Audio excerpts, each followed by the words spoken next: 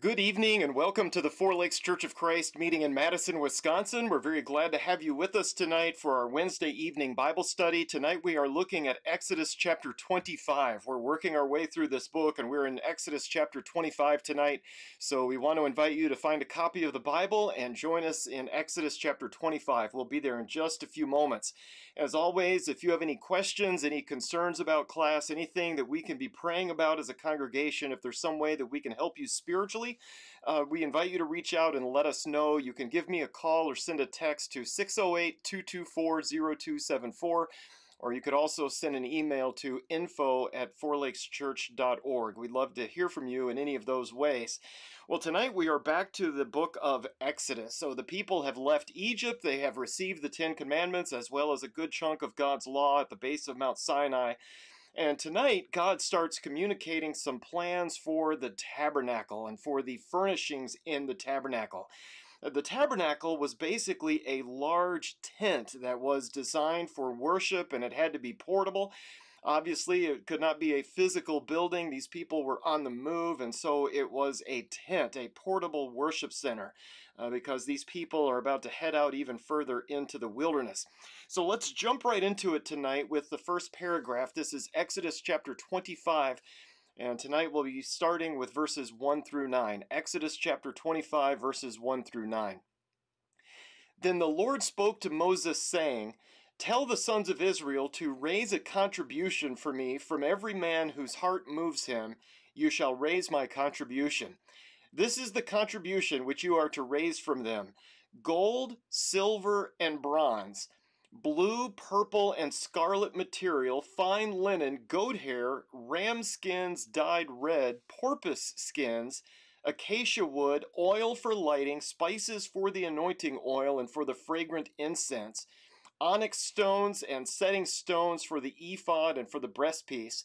Let them construct a sanctuary for me, that I may dwell among them, according to all that I am going to show you, as the pattern of the tabernacle and the pattern of all its furniture, just so you shall construct it. We know what comes next the construction of the tabernacle and everything in it and around it, so that the people can worship as God has instructed. However, obviously, before they build anything, they need to collect the materials. They can't just build this out of nothing. And so God has Moses start by telling the people to raise a contribution. And I hope we notice that this is to be a free will offering. In other words, this is not a tax. Uh, this is not a percentage. This is not some burdensome command. But the people are simply to give freely from the heart. And I don't know about to you, but to me that sounds a whole lot like what God has instructed under the new covenant. Over in 2 Corinthians chapter 9 verse 7 under the new law Paul says, "Each one must do just as he has purposed in his heart, not grudgingly nor under compulsion, for God loves a cheerful giver." Well, so also here in Exodus, the first contribution is not a percentage, uh, that is demanded of the people in terms of this law being issued, but instead it is a free will contribution from the heart. Well, they don't have cash, do they? And so, in particular, God is looking for gold and silver and bronze, as well as these other materials cloth of various types, wood and oil, and various animal skins and spices and, and precious stones. Uh, just a kind of a thought question here, something for us to mull over these people were pretty much runaway slaves out there in the desert in the middle of nowhere. How in the world were these people supposed to come up with all of these luxurious items? Well, if you remember on their way out of Egypt, they were supposed to ask their neighbors for pretty much anything of value. If you remember that, and then their neighbors would feel compassion for them, this would be God uh, working through this. This would be God's way of paying them back for so many years of forced labor. So they are not leaving Egypt empty handed. And so they actually walked out of Egypt freely and they were loaded down with this stuff because their neighbors just piled it on. Their neighbors gave them all of these items of value.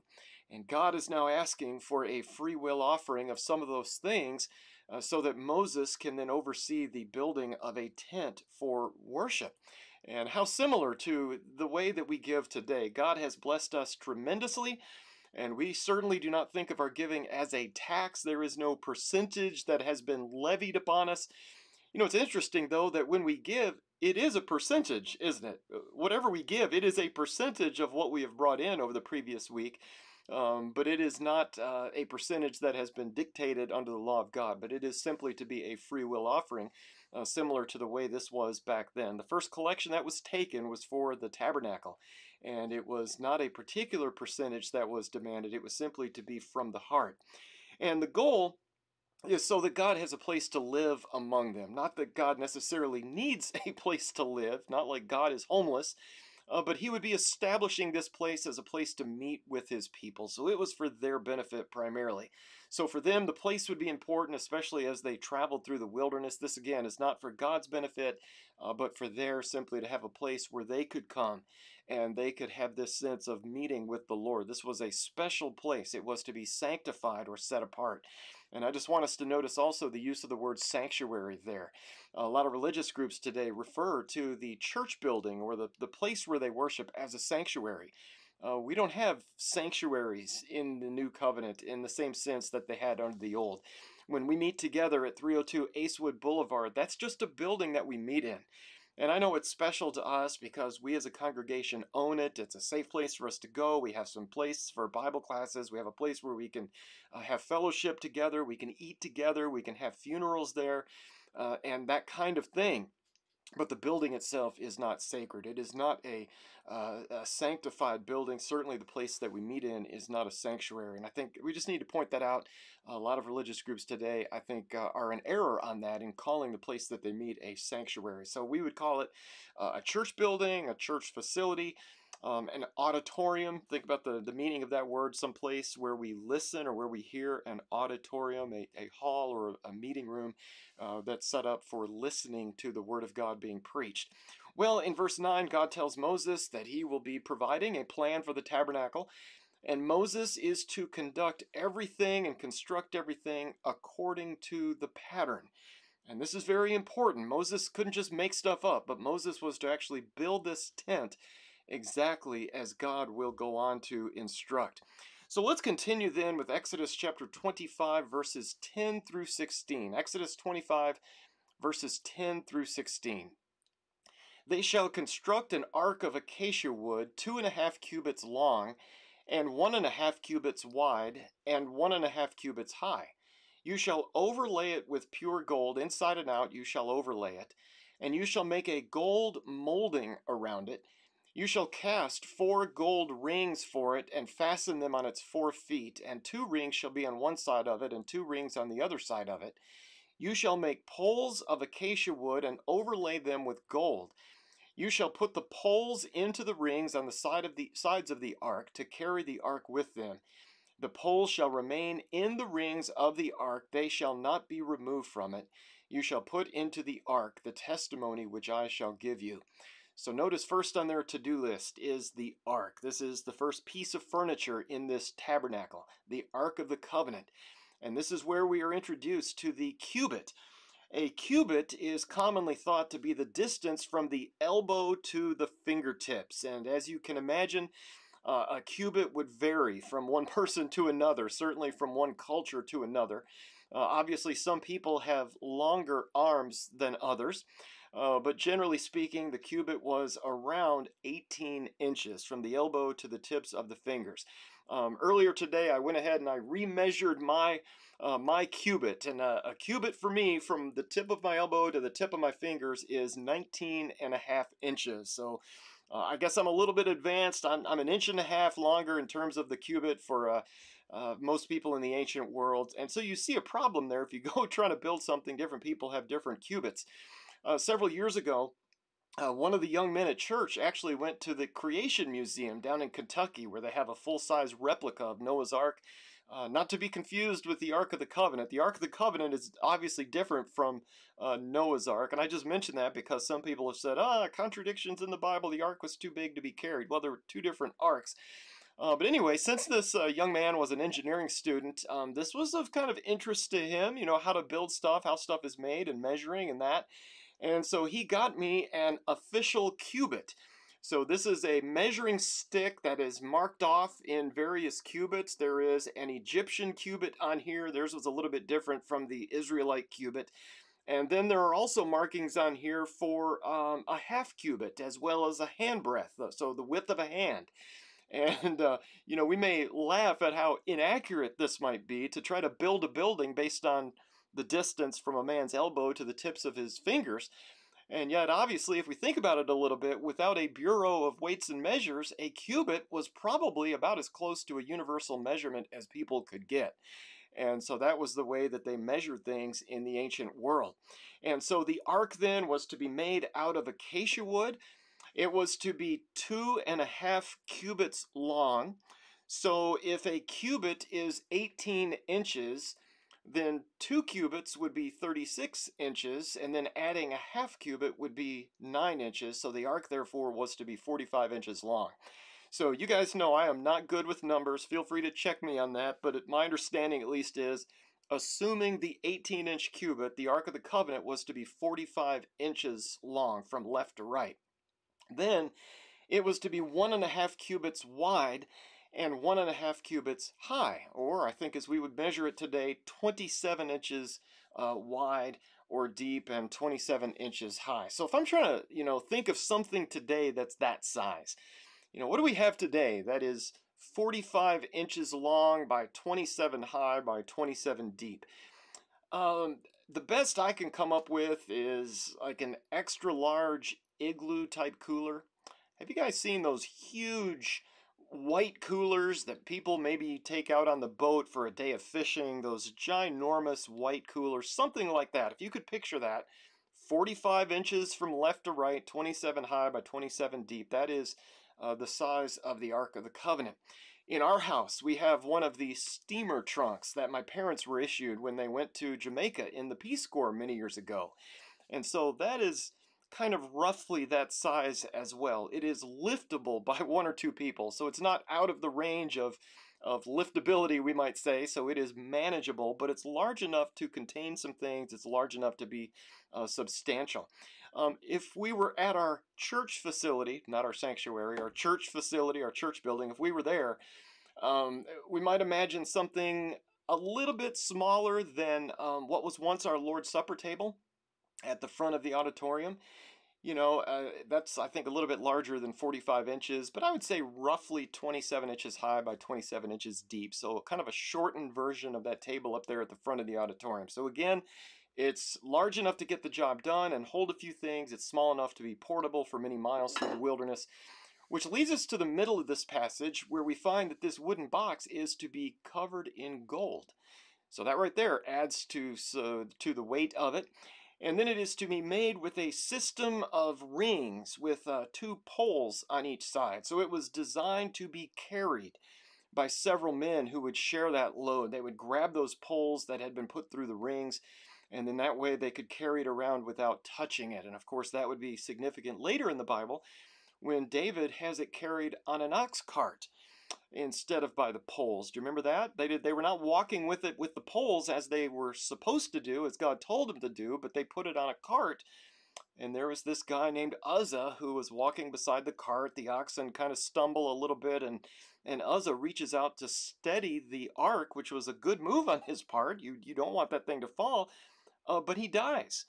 And, uh, you know, the lesson there, they should have been using the poles as God had instructed, but David failed uh, to do that. He failed to obey the Lord, and, and, you know, it looks like David should have paid the price, but they slow the thing down. Uh, David, as I remember that, I haven't reread this for a while, but he goes, he does the research, he realizes, oh, that's what we should have done. And then he has the proper people carry it in the proper way for it to make it the rest of the way into the city of Jerusalem. Well, at the end, we find the first thing to be put in this Ark of the Covenant is the testimony. So it's the Ark of the Testimony, Ark of the Covenant, kind of a different translations of the same word. And later we find that this seems to be a reference to not the whole law, but rather the Ten Commandments. And uh, those, of course, were written on tablets of stone. So uh, those tablets would have gone inside the ark. Well, let's continue with Exodus 25, verses 17 through 22, the next paragraph. Exodus 25, 17 through 22. You shall make a mercy seat of pure gold, two and a half cubits long and one and a half cubits wide.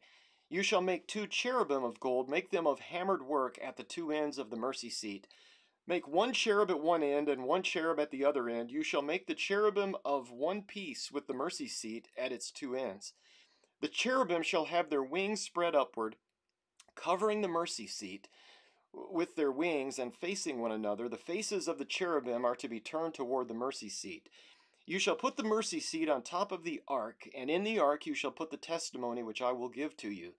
There I will meet with you, and from above the mercy seat, for between the two cherubim which are upon the ark of the testimony, I will speak to you about all that I will give you in commandment for the sons of Israel. Up in verse 17, notice we have instructions now for what God describes as a mercy seat. And when we compare the measurements, we find that the seat is to match the dimensions of the ark. It is to be the same length, it is to be the same depth, and it is to be placed on top of the ark. I would look at this almost as a lid. I think that's the way we would explain that today. This is the lid or the top of the, of the ark. So they are to make two gold cherubim. Apparently, uh, form of an angel or an angel like being. We don't have a lot of information on cherubim. To me, they seem to be a class of angel. I would not swear my soul on that. That's just my impression from reading scripture. But these two cherubim are to face one another with their wings spreading upward, covering the mercy seat. Well, the purpose of the mercy seat then is to provide a place for God to meet with the people. And again, God repeats that this uh, testimony will be given to them. It will be placed in the ark. And to me, it's almost as if the testimony is to serve as something of a basis for God meeting with the people. So the testimony is a written record of God's agreement with the people. God plays a role, and then the people also play a role in that relationship. And that relationship certainly will be ongoing, according to verse number 22. Before we move on to the next paragraph, uh, I'm sharing one artist rendition of the Ark of the Covenant with the mercy seat on top of it. And I think the uh, caption to this said that this was Moses and Joshua bowing down before it. Uh, the painting is by James Tissot, a French artist. It was done around the year 1900, give or take a few years. And there was actually a date range on this painting. I don't know if it took him several years or if they were unsure as to exactly when it was done. But I think James Tissot died very early in the 1900s, so it, it was toward the end of his life. Uh, he's done a lot of illustrations on the Bible, and uh, I like a lot of what he's done. Uh, but this, of course, is one of many renditions of the Ark. I mean, we really have no true idea of what it looked like in real life other than the dimensions and the description that we have here in Exodus. And we could go on and on sharing uh, paintings and drawings and sketches of what people thought but uh, this is at least one artist idea of what it might have looked like. So let's continue then with Exodus 25, verses 23 through 30. Exodus 25, 23 through 30. You shall make a table of acacia wood, two cubits long and one cubit wide and one and a half cubits high. You shall overlay it with pure gold and make a gold border around it. You shall make for it a rim of a handbreadth around it, and you shall make a gold border for the rim around it. You shall make four gold rings for it, and put rings on the four corners which are on its four feet. The rings shall be close to the rim as holders for the poles to carry the table. You shall make the poles of acacia wood and overlay them with gold, so that with them the table may be carried.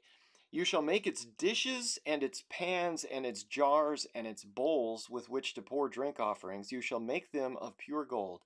You shall set the bread of the presence on the table before me at all times. Well, the first piece of furniture was the ark. Now we come to a table. And like the ark, the table is also to be made out of acacia wood and uh, converting cubits into something we understand. If I have calculated this correctly, uh, the table is to be 36 inches long by 18 inches uh, wide by 45 inches high. Uh, it is also to be covered in gold. Notice it is to have a, a border or a railing around it of a handbreadth wide, so I would guess so nothing falls off the table. So a little rim or a lip or, or a ledge, uh, an edge around the table, so the width of a hand, four or five inches or so.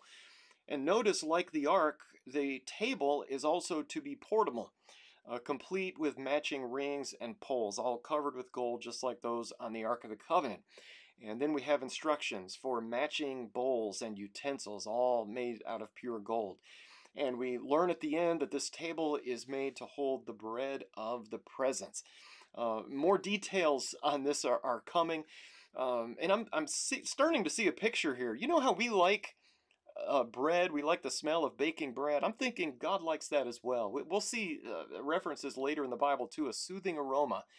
You know, there's just something about meat cooking on a grill. There's something about the smell of baking bread that is just absolutely amazing.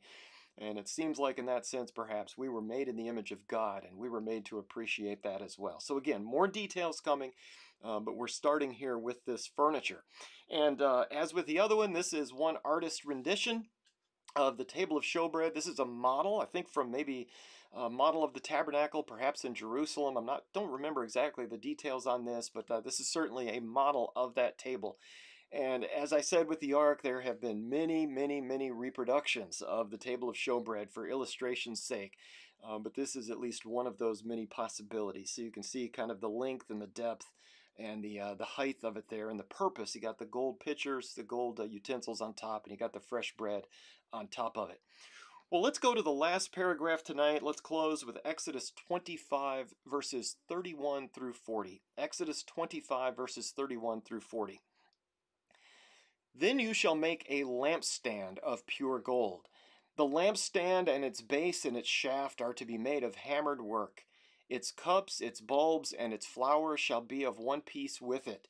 Six branches shall go out from its sides, three branches of the lampstand from its one side, and three branches of the lampstand from its other side. Three cups shall be shaped like almond blossoms in the one branch, a bulb and a flower, and three cups shaped like almond blossoms in the other branch, a bulb and a flower. So for six branches going out from the lampstand. And in the lampstand, four cups shaped like almond blossoms, its bulbs and its flowers. A bulb shall be under the first pair of branches coming out of it, and a bulb under the second pair of branches coming out of it, and a bulb under the third pair of branches coming out of it, for the six branches coming out of the lampstand. Their bulbs and their branches shall be of one piece with it, all of it shall be one piece of hammered work of pure gold. Then you shall make its lamps seven in number, and they shall mount its lamps so as to shed light on the space in front of it. Its snuffers and their trays shall be of pure gold, and it shall be made from a talent of pure gold, with all these utensils. See that you make them after the pattern for them which was shown to you on the mountain. So we have the ark, we have the table, now we have a lampstand. Notice it is made out of solid gold. And we have some details. It is to be hammered, it is to have bulbs and flowers. And I kind of get lost in all of the details here. It's hard for me to picture this. And I'm, I'm assuming God, of course, gave Moses more details as he enabled the craftsmen to do this. But a total of seven branches and lamps coming out from the base three on one side, three on the other, one in the middle. And I think we would recognize this today as the menorah. And we've seen this, of course, with uh, Hanukkah not too long ago here. But uh, the lampstand, the purpose of it was to provide light in the tabernacle. So it wasn't just for decorations, uh, it, it had a function to provide light. And we're heading in this direction, but pretty much everything in the tabernacle, including the walls, I believe, were to be covered in gold. So any light source in a fairly small room like that would certainly reflect and provide quite a bit of light, and that was the purpose of the lampstand. In addition to the lampstand, they were to make snuffers and trays. Uh, the utensils out of pure gold. Everything is to be made according to the pattern shown to Moses on the mountain. And uh, this whole concept, by the way, repeated a couple times here in Exodus 25, is actually quoted in Hebrews chapter 8. And uh, hate to jump back into Hebrews, so I'm not going to go too deep into that right now. We, we've done that this uh, past year. Uh, but the point of that passage in Hebrews 8 ultimately was making the point that Jesus is a priest who serves in a much better sanctuary. So I'm just saying the author of Hebrews refers back to this and, and said, you know, it's important to make things according to the pattern. And the, the tabernacle that Jesus serves in today is much better than the one uh, described uh, to Moses. Um, this is one artist rendition of the lampstand. And again, you know, we don't know exactly what it looked like, but this at least gives us, I think, uh, some idea of what it might have looked like. And I want us to notice uh, the base on this guy. You know, I don't think there was a whole lot about the actual base, like the weighted part that it sits on. But keep in mind that pattern right there, if you could see that at the very bottom of your screen, this is something I didn't think about until I started recording class tonight. But that base right there is going to look a little bit familiar. We're going to come back to that in just a few moments. All right, as we close tonight, I want to share an image from the um, Arch of Titus. This is found in the uh, ruins of ancient Rome. I know a number of you have probably been there. Uh, we have, we saw this in person a number of years ago. Uh, Titus was the Roman general who was sent to wipe the city of Jerusalem off the face of this earth. Uh, the Jews had rebelled in the late 60s. Uh, Rome, the emperor, had had enough of it, and he sent Titus over there to clean things up and wipe them off the face of the earth. And uh, that was the one stone not left on top of another. That's that reference from Jesus in Matthew chapter 24. Jesus predicted there are some people standing here today who will see this happen. They will still be alive. So within one generation of Jesus saying that, around uh, 30 AD or so, uh, this is going to happen. Well, in downtown ancient Rome, there is this huge arch dedicated to Titus. So when Titus comes back, gives the report, brings the loot back to the city of Rome, uh, the emperor builds this arch in his honor. Uh, to commemorate the uh, sacking and the destruction of the city of Jerusalem. And it is one of the few really uh, good quality structures still remaining today in the uh, ancient Roman kind of downtown uh, government area. Um, but this was the, the emperor's way of um, honoring Titus' accomplishment and putting down that Jewish rebellion. Well, inside the arch, there is a carving uh, depicting Roman soldiers looting the furniture from inside the temple. And I don't know how well you can see this, uh, but I have circled that carving on the inside of that arch. So I kind of put a red circle just to give you an idea of where it is. And you can actually walk underneath this and look up to it. It's just above my eye level to give you some sense of scale. And so this is a close-up of that carving. So notice the carving depicts Roman soldiers looting the furniture from inside the temple. And I don't know how well you can see this, but I, we can uh, very clearly, we can most clearly see the lampstand on the left. Isn't that amazing? Uh, we see some silver trumpets there on the right. I believe we can also see uh, a table behind the trumpets. To me, uh, most archaeologists have said that is a table. I look at that, it looks like a table. It's got legs, it's got a top, it's got some kind of uh, uh, object, a bowl or vase on top of it. And I mean, it's incredibly sad to see this, but it's also interesting to see this depicted so far away from Jerusalem, way over there, hundreds of hundreds of miles away in the city of Rome. Um, by the way, remember how I mentioned the base of the lampstand and that artist rendition? Notice the base of this lampstand here and how similar that is. I'm guessing that the artist might have uh, taken this into consideration as he or she made that uh, uh, depiction or sculpture or reproduction of that lampstand. But anyway, th this is actual history. And as I stood there uh, looking at this in real life, just dumbfounded. I mean, it, it was yet another confirmation that the Bible records real history. This is not made up stuff. You know, the lampstand, the table of showbread, uh, they didn't just exist in someone's imagination. This is not some fairy tale. But these were very real pieces of furniture that were actually looted by the Romans in 70 AD. So thought you might appreciate some of the uh, images there. Well, this brings us to the end of Exodus 25. So we've now started looking at the instructions for building the tabernacle and uh, the furniture inside the tabernacle. Ultimately, everything that we have uh, read about tonight is merely a shadow.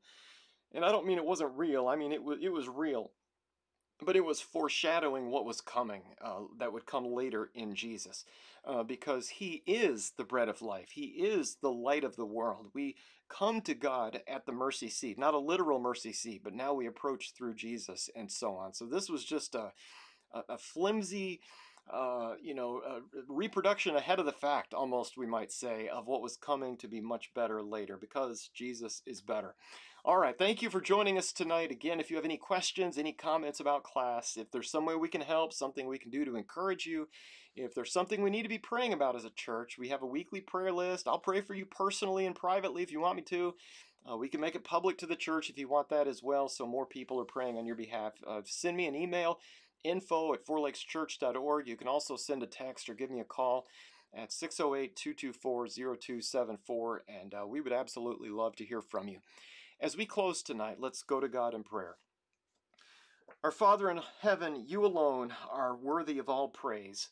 You alone are the only true God, the creator of heaven and earth. And tonight we're thankful for what you've told us about the furniture that you intended for the tabernacle. But tonight we are especially thankful that we can approach you directly in prayer, not through a human priest in a tent somewhere out in the wilderness. And we're not praying through someone who would carefully approach a gold covered box in, in fear uh, once a year, but we now come to you directly through your Son. And we know tonight that your Son truly is the light of the world. He is the bread of life. Thank you, Father, for Jesus. We come to you tonight in his name. Amen.